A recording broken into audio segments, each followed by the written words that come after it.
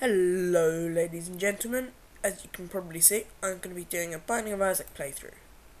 So, just start it. I haven't really got many people, all I've got is Magdalene, and that's it. No one else. So, I haven't got many things either. Well, actually, when you look at it that way, there's quite a few. But, anyway... It's always kind of funny. Shoot the whoop. Love that one. Actually, no, I don't. I prefer the other one, which I'm not going to say what it is if until I get it again. But anyway, I don't know who to play as. I think I'm going to play as Isaac just because he's got all-round skill. So let's do this. Right.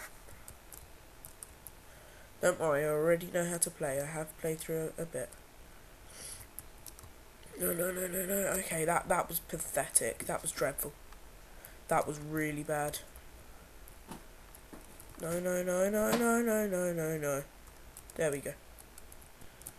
Only one heart? That's not fair.